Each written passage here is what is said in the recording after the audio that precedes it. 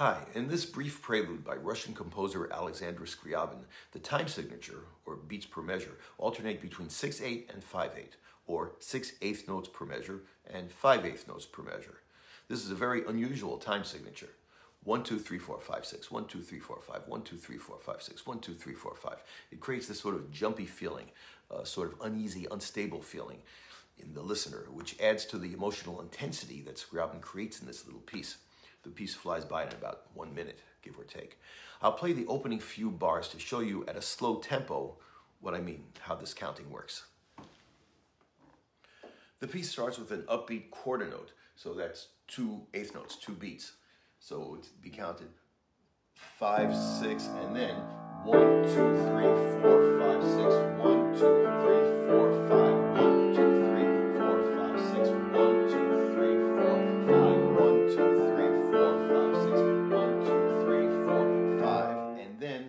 two measures of just six, eight, six beats rather than five. So it's one, two, three, four, five, six, one, two, three, four, five, six. But Scriabin has given the performer a difficult challenge here. He marked the piece presto, which means very fast, and at a very fast tempo.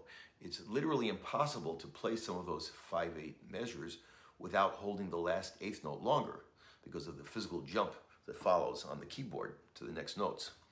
So the 5-8 measures often wind up effectively sounding like 6-8. So I'll try to show you what happens at a fast tempo. So I don't even know if I can count out loud at such a fast tempo. So I'll just count now to start off. It would be something like 1, 2, 3, 4, 5, 6, 1, 2, 3, 4, 5, 1, 2, 3, 4, 5, 6, 1, 2, 3. But you'll see how it's not possible. So, I mean, I'll try like this.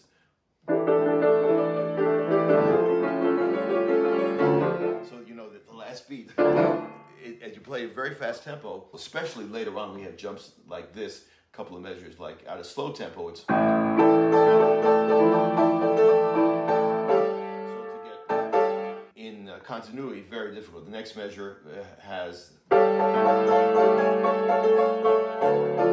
So the idea of getting to uh, at fast tempo with all the chords going. So a pianist seems to have two options here. Either play this piece presto, as indicated by, by Scriabin, which is super fast, and uh, inevitably distort the 5-8 measures into something more like 6-8, or take a much slower tempo in order to make sure those 5-8 measures sound like 5-8. Now, I've heard pianists who take one or more of the, those approaches. My approach is sort of a compromise. I actually feel that at a breakneck tempo, the piece sounds too frenetic, too hysterical, and loses some of the lyricism, which is also there in the beautiful harmony changes that, uh, that Scriabin wrote. So I guess I disagree a bit with Scriabin in the tempo marking of how it actually works. I don't think it loses any character by taking it uh, at a fairly fast tempo, but maybe not quite presto. So I don't like to play this piece so slowly either that all those 5-8 measures can be completely accurate.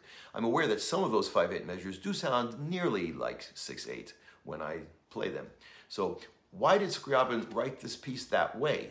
I mean, why did he write all those 5-8 measures alternating with 6-8 and then mark the tempo presto which actually makes it impossible to, to technically do that, even for the most technically gifted pianists.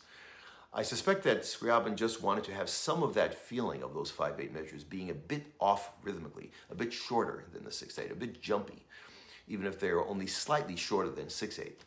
So that's what I try to do when I play this piece. I take it at a tempo which I feel is fast enough, though perhaps not quite presto, while keeping those 5-8 measures a bit shorter than the 6-8 measures as much as possible, as much as humanly possible for this human at least. So uh, here's my performance of it. it. Goes by quickly, just a minute. And let me know in the comments how you would deal with this issue if you play this piece, or how you do deal with it if you are a pianist who has played this piece.